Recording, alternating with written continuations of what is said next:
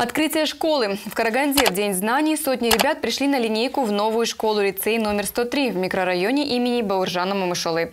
Учебное заведение построено в рамках реализации государственной программы «Нурлыжол». На торжественном открытии ребят, учителей и родителей поздравил заместитель Акима области Серик Шайдаров. Подробнее в репортаже. В микрорайоне Бауржана Мамышулы 1 сентября состоялся двойной праздник. Здесь в День знаний распахнула свои двери новая современная школа-лицей номер 103.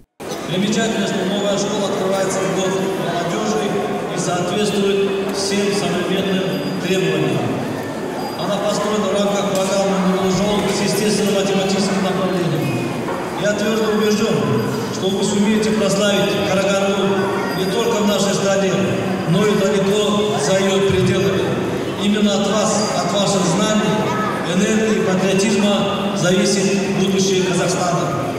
На торжественном открытии присутствовали заместитель Акима области и Аким города Караганды. Ребята и учителя подготовили насыщенную праздничную программу. Заместитель Акима области по поручению главы региона вручил директору 103-й школы-лицея сертификат на оснащение кабинета «Интеллектум». Он предназначен для развития логики, критического мышления и интеллектуальных способностей детей. Игровые уроки «Интеллектум» позволяют вырастить новое поколение детей со стратегическим мышлением. Также был передан символический ключ ключ от учебного заведения.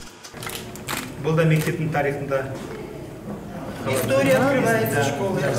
Гости прошли по светлым и нарядным коридорам, осмотрели кабинеты и залы школы-лицея. Побывали в большой светлой столовой. Школа рассчитана на 1200 мест. На сегодня в нее подали заявления более 700 учащихся. Из них 150 первоклашек. Сформировано 32 класса, 20 с государственным языком обучения и 12 с русским языком. Преподавательский состав полностью укомплектован. Учителя высшей и первой категории составляют больше половины штата. Кроме того, дополнительно мы заключили договор э, с Карагандинским политехническим университетом, Карагандинским государственным университетом и медакадемией, что в субботу в дополнительное время в рамках реализации доп. образования э, преподаватели высших учебных заведений будут э, работать в нашей школе. То есть они будут вести предметы IT-технологии, робототехники, 3D-моделирования, авиамодельных, заниматься авиамодельными кружками.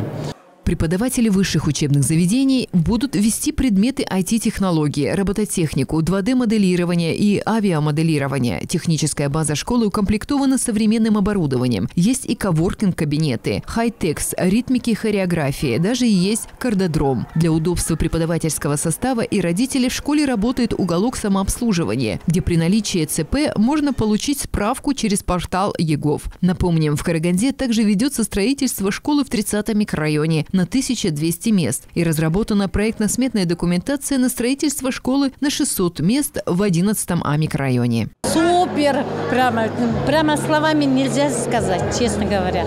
Я сама здесь квартиру получила. У меня в этом школе учатся трое человек, трое детей. Дочь привел я сегодня первый раз, первый класс. Сам переживаю. Хороший праздник, да, сегодня устроили для родителей, для детей. Все хорошо. Школа красивая, новая. Привел внучку, первый класс. Я сам ветеран образования. Много лет я руководил отделом образования Каркаралинского района. Я восхищен, что в Караганде появилась еще одна гимназия.